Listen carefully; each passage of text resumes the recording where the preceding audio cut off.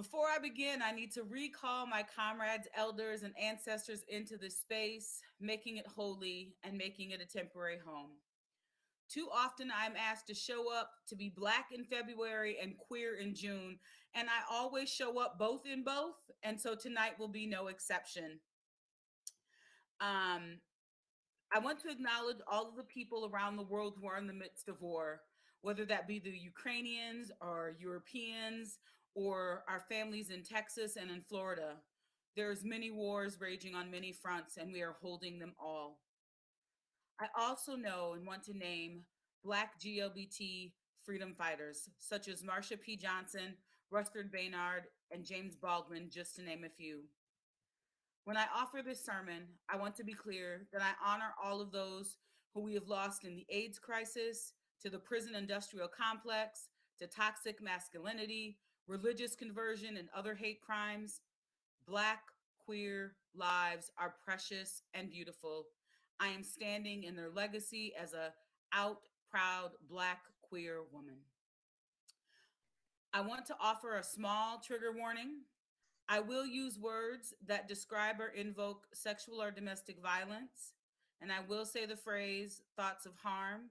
Please adjust as needed to support your spirit. Let us begin our journey. My descent into queerness started early right around kindergarten. I always knew I was strange. I always knew that I was out of sync with the world. I was marching to every drum. The first time I identified as something, I claimed to be a Christmas tree. Later, um, after a name calling incident in the schoolyard, I was informed that I was Black. This was new to me. Given our short time together, I won't delve hard into racial identity development theory, but will say that my connotations of black and blackness were not positive. Hence, I didn't want to be black. In retrospect, I was experiencing concurrent identity development related to race, gender, and sexual orientation. I do think this is common for queer, Black, Indigenous, and people of color, which I may to refer to as BIPOC as we journey further into the story. Um, I think these layered developments resulted in the creation of my complex, beautiful self. The first time I felt a connection to something other than family was Jim Henson's Fraggle Rock. That strange little village of underground gnomes with their dozer and their madam trash heap were speaking my language. I was so saw so much of myself in those little muppets. My two main and favorite characters were Red Fraggle and Uncle Traveling Matt. Red was fierce and brave. She was full of energy and ideas, and she never let her friends down. Uncle Traveling Matt, he left home to explore the world, but used postcards to communicate, to educate and stay connected. I wanted to be both somebody who embraced their whole family and somebody who left home and explored the world. Although I lacked the language, I sensed that Red Fraggle was the exact opposite of the women in my community. Of the women in my community, a contrast of femme. I was drawn to that. You know, this has been a strange night. My computer's trying to die on me. There we go. Although I lacked the language, I sensed that Red Fraggle was the exact opposite of the women in my life, a contrast to femme. I was drawn to that contrast and to her otherness. There are other signs of my budding lesbian identity. I was in love with 1980s glam rocker cover albums. I'm talking Hall and Oates 1971. They presented themselves on this gender arch, and I felt a strange kinship. You can Google that album cover if you want. There are stories that I will never live down, like my love of Richard Simmons and the 1980s music variety show Solid Gold. Marilyn McCoo was definitely one of my first crushes. I can tell you about the first time I heard Tracy Chapman's Fast Car. I was, I'm sure it was on the radio, but when I saw her on TV, I was surprised. She, she was small in stature, soft spoken, spoken, but her voice to me, to my spirit, was a thunderclap in July. Her whole existence resonated with my core. I had surmised from my 14 year old wisdom that everyone called Tracy a lesbian, that liking her music then made you a lesbian. It's important to note that I didn't associate lesbianism with sexual orientation, but instead viewed it as a way of being counter or a way to be other. But in the confusion, I found a word to describe what I was experiencing. I found a shape to hold my otherness. I also knew from cultural and community context clues, everyone whispered and mocked lesbians, that feeling like a lesbian was private, that expressing it like Cousin Terry or Tracy Chapman was not okay. So I kept my new language and my new world to myself. In high school, I had a chance to explore the library. I used the banned book list to find books with lesbian themes. I landed on Rita Mae Brown's Rubyfruit Jungle, which lived in my backpack for the most extended checkout period possible, but I knew I still needed to read it to be private and be in. So I made sure to erase my name off the little checkout card in the back. In my junior year, I was well aware that a lesbian was a sexual orientation. I had my first girl crush on Erin Kay. We were friends, we hung out and chatted on the phone. And when I shared my crush, she responded with a cute little kiss on my cheek and let me know that it was not reciprocated. Such a fitting end to that phase of my life. In the fall of 1991, um, I started Oh. In the fall of 1995, I attended St. Mary's University, a small Catholic liberal school in southern Minnesota. I in closed circles, I shared that I was a lesbian, which had morphed into bisexuality, but by no means was I public. There was a small community of queer kids who found each other on sports teams or theater programs or at the local bars. I had friendships in all of those subgroups, and by my senior year, we rallied and formed a small but mighty gay student alliance. You guessed it, at the Catholic school. In 1998, I came out to the whole damn city of Minneapolis. I sent a letter to the local GLBT. Did I mention it's 1998? We didn't have all the letters yet. Um, to the local magazine called Lavender. I asked for the letter to be printed anonymously, but it wasn't. There in big bold print was my unique name, QuianaDenae Perkins. Wants to know where all the lesbians are hanging out.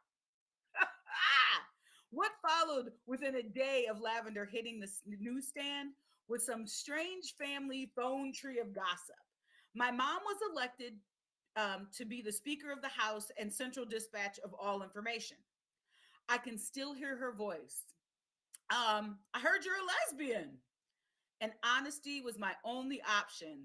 I confessed, yes, I am. Her response, to my surprise and joy, was acceptance.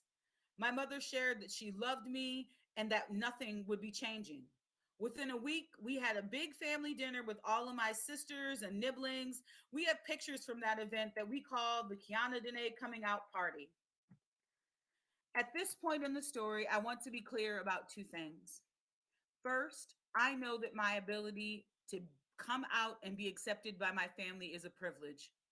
A, I am privileged to have a family that loves me, period, no caveats. I try not to take that for granted and I try to use the privilege for good, sharing my story in the hopes of helping someone else, some other family. The reason, this is one of the reasons why I chose Julian's The Mermaid as the story for all ages. This is a life giving, there is life giving power in having affirming adults in the life of queer and gender non binary and trans youth. Abuela sees Julian, affirms when he shares that he might be a mermaid too. She even takes him to the mermaid parade. How beautiful, echoing so much of what I have experienced in my coming out process, what I wished everybody experienced.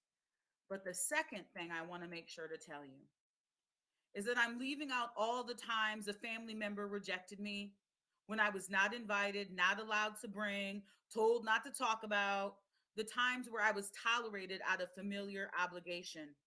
I cannot casually revisit those moments for a sermon. I honor that they are a part of my story, but not the part I am telling today. So, where am I now? 20 years goes by so fast. I think I have lived five years and two. Thank you, COVID.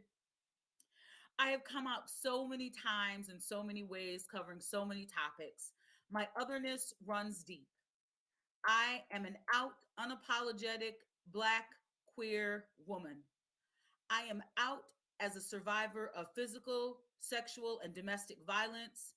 I am out as a person with mental health realities that include depression. I'm not a traditional mom. I am an advocate for Black trans lives. I am an abolitionist. I am the member of many dynamic, rich, textured communities. I am a Black Unitarian Universalist. And to be clear, I'm a Black person who is a Unitarian Universalist, and I am also a member of the beloved BLUU faith community. There is much Venn diagram overlap, but they are not the same and not interchangeable terms. Context matters, friends. I also want to name that there's layers of othering and marginalization that come with being a member of and seeking ordination in a predominantly but not all white denomination. But that is a whole other sermon. Just know that I am living my best life and I am thriving in the intersection of my marginalized identities. As I prepare to go, I want to offer these four themes of learning that have helped me, and I hope that they can help you too. The first is the role of language. I came out as a lesbian, then bisexual, and then queer. I have currently settled, just for today, on the micro labels of queer and pansexual. If these words existed in the early 1980s, I had no access to them. Their prevalence and normalization have happened over these last 20 years. The result of this expansion of language means I get to increase my self awareness and fully share who I am to others. There is profound beauty in my identity, becoming more nuanced and simultaneously very qualified. Lesson number two the role of honesty. The way I have come to understand and practiced honesty matches my maturity. At 14, it was simple honesty with myself that I was sexually attracted to women. At 40 plus years old, it looks like being honest with myself and intimate partners about consent and boundaries. Honesty with self was a critical factor in all of my growth. We, the royal usage, are taught to override our feelings. Our inner voice is silenced in multiple ways. We have to unlearn this to build new narratives and embrace honesty. It is how we move to the next best version of ourselves. Lesson number three the role of community. And by I say community, I mean your family, your pod, birth, chosen, cluster of care, the people who got your back. Just like I found correlations between honesty and maturity, I also see a correlation between my access to community support and my thriving. Times when I have felt and acted alone, I struggled. Those are the times when I was prone to ideas of self harm and general destruction. I was moving at the speed of self and community harm. The times when I'd centered community as a member in need and a contributing member, I found myself inundated by so much love and care. The times I have moved at the speed of trust and relationship have literally changed me at my core at my core. I cannot say this enough. Find your people, people who see your beauty and your brilliance and are determined to make sure you see it too. People who refuse to let you dull your shine. Lesson four the importance of representation. I know I'm saying this young man's name wrong from the book. I just can't find it right now, the correct pronunciation. Another reason I chose Julian's story was the representation of Black and Brown families and queer identity. There is a persistent stereotype that all people of color are homophobic. This book changes that stale, false narrative and replaces it with a multi generational, culturally rich fairy tale about gender presentation and play. I think people forget that not all black indigenous and people of color families are homophobic because here's the here's the here's the punchline. Because some black indigenous and people of color are queer. Bipocs are not a monolith queerness is not a monolith not all cultures are being expressed or experienced from a colonized lens i could go on i'll stop i just need you to trust that representation matters Stay with me, friends. We're coming around the river bend. How do we move forward? Our world shifted on March 13th, 2020, when COVID 19 was declared a global pandemic. And we are now looking at our third March of COVID. That coupled with the death of George Floyd and so many other Black and Brown bodies after George, a tumultuous election cycle, climate crisis escalation, glaring disparities in healthcare, education, and resource access. And tonight, all of our eyes are on Ukraine and Russia. Friends, let's take a breath. This is a lot. We are holding a great deal of collective trauma and grief. And although we may not have personal, although we may have personal plans, we don't have a collective healing plan. I feel this in my heart daily. I don't think we are ready for the hurricane of P of post-traumatic stress disorder and grief that is sitting on the edge of our lives. I think the only way we come out of this moment better is if we intentionally work to reconnect, reimagine, and realign with all of our shared humanity. We are not just Black, we are not just queer, we are not just Ukrainian. We are not just soldiers. We are not just people who are willing down, willing to lie down. We are whole. We are complex people who come to the table of survival whole. We want to be accepted whole, to do the work of healing from a place of wholeness.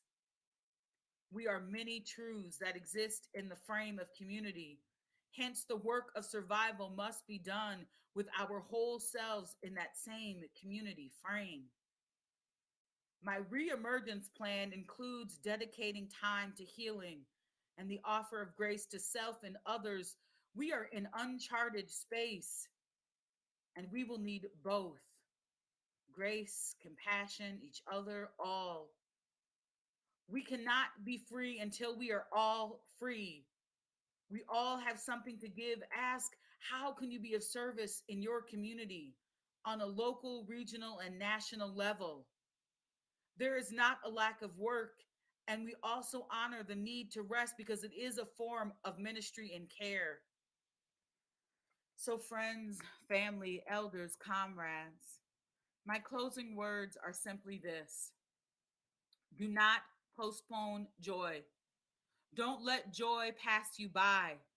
When you think, wherever you think joy might be, go there. Set up home and make room for new neighbors. Don't let anything hold you back from what you know to be good and true. A song that we're going to hear in a little bit or right after I'm done is This Joy by the Resistance Revival Choir. I want all of us to leave this holy place knowing that this joy and light is mine and this joy and light is yours that joy is resistance and that we are resisting with our whole hearts coming back full circle in to love ashe and amen my friends